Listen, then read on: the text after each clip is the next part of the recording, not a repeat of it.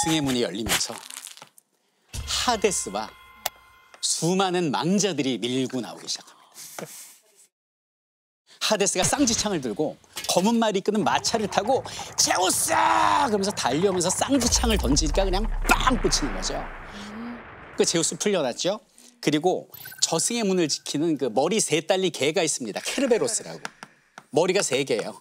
케르베로스가 달려와서 이빨 여섯 개를 그냥 여기는 티폰의 발에 빠바바박 여기서 가장 무서운 건 아까 얘기했던 백손이 삼형제 있죠. 이 백손이 삼형제가 손이 100개씩 셋이니까 300개죠. 바위를 들어. 바위를 집어던지는 거야. 티타노마키아 때도 던졌잖아요. 이 바위에 붙잡혀 있던 시비신들이 다 풀려난 거예요. 그러니까 여기는 티폰이 이제 당황한 거죠. 아까는 열둘이었는데 이거 너무 많아요, 막. 뭐, 뭐 수백 수천이 나오니까 안 되겠다 싶어갖고 이 날개로 태풍을 일으킵니다. 그래서 태풍을 일으키려고 딱 펼치는데 이렇게 된 거예요. 보니까 이쪽 날개에 불이 붙었어요. 이 불이 왜 붙은 거야? 이쪽을 딱 봤더니 이 위로 이렇게 생긴 신이 곡식의 여신 데메테르가 횃불로 여기다 불을 붙여버렸어요. 이쪽 날개. 불을 붙여버리니까 우와 하고 타는 거지. 우와 그러면서 안 되겠다 싶어갖고 이제 화염으로 화염으로 망자들을 쓸어버리려고 입을 쩍 벌리라고 그러는데 어?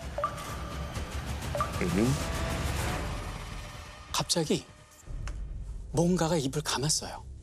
입을 감았는데 여기에 뭔가 송이송이 열매 같은 게 이렇게 매달려 있는 거예요. 포도. 술의 신 디오니소스입니다. 환영, 환각, 정신 조작, 알코올 혈중농도 엄청납니다. 술에 취한 디오니소스가 그의 입에다가 포도 농풀로 자갈을 물려버린 거죠. 이 입을 못 쓰는 거예요. 그래서 여기는 튀폰이 남은 게 이쪽 날개잖아. 그래갖고 이쪽 날개로 완전히 난리라고 퍽 하는데 갑자기 여기에 또 불이 확 하고 붙은 거예요. 어 이쪽엔 불 붙을 일이 없는데 뭐지? 라고 했더니 누가 불을 붙였냐면 인간에게 불을 주어서 아, 하늘에서 쫓겨났던 그러면 여기는 프로메테우스가 인간한테 줬던 그 불로 이쪽 날개를 태웠고요. 그 뒤로 인간들이 쳐들어오는데 어, 그리스 연합군, 어, 이집트, 아프리카, 어. 그리고 튀르키예, 터키, 아시아까지 유럽, 아시아, 아프리카 연합군들이 수십만 명이 으아 그러면서 몰려오는 거예요.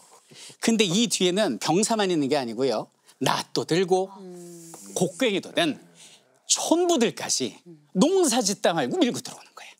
그럼 이들이 왜 밀고 들어오느냐? 여기는 농부는요. 곡식을 뿌리고 와서 수확하는 건 나의 소중한 일상이고 나의 세계고 무엇과도 바꿀 수 없는 가치인데 그것을 앗아간다니. 이건 제우스를 지키기 위함이라기보다는 나와 내 가족, 우리 인류를 지키기 위함이다. 모든 인간들이 여기에 가세를 합니다. 근데 갑자기 그 위로 누가 날아오느냐? 달의 여신 아르테미스가 날아오는데요. 여기는 아르테미스가 우리가 이제 달의 여신으로만 알고 있지만 동물을 관장하는 신입니다. 아, 코끼리하고 음, 사자하고 호랑이, 맹금류, 날개가 있거나 이빨이 있거나 발톱이 있거나 독이 있는 것들은 모두 날아옵니다. 그러니까 여기는 티폰이 너무 당황을 해가지고 여기 있는 두 손을 제우스 놓고 제우스를 잡고 있을 수가 없는 거죠. 제우스 놓고 여기 있는 이 포도동굴 이게 더 환영환각인데 이걸 뜯어내요. 뜯어내고 여기는 인간하고 동물은 화염에 치명적이거든. 그래서 아가리를 있는 대로 버리고 그들에게 화염을 팡 하고 뿜었어요. 바로 그때 시 하면서 수증기가 피올라. 그 수증기의 장막이 여기는 인간과 동물을 보호해 줍니다. 여기는 수증기가 이렇게 사라지면서 가운데 누가 서 있는데 씩씩거리면서 서 있는데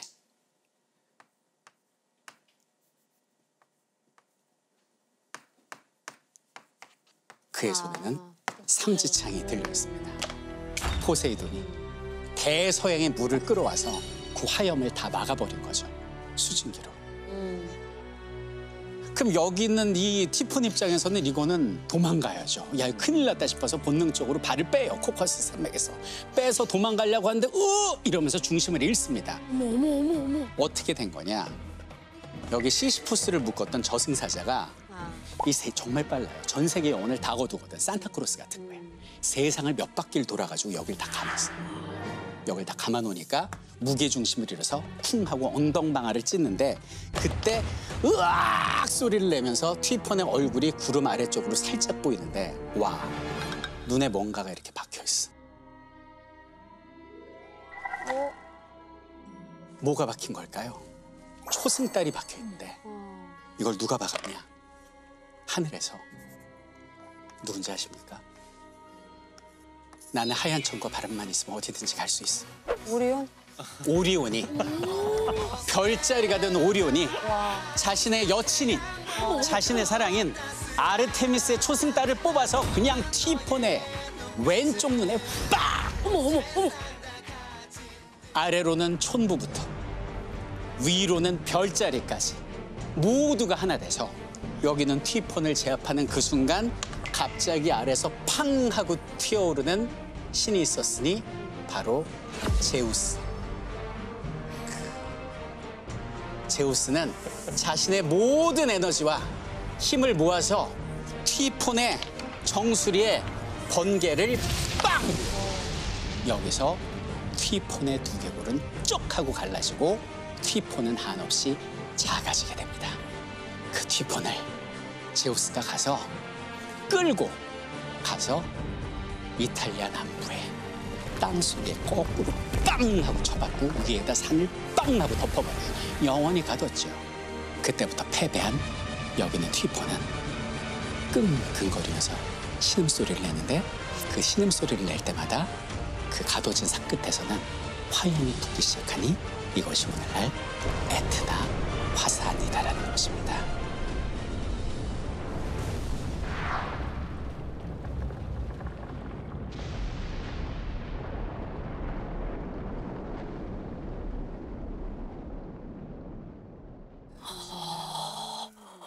이것이 제우스의 세상이 아닌 우리 모두의 세상을 지키기 위한 최후의 전쟁 티폰이었습니다.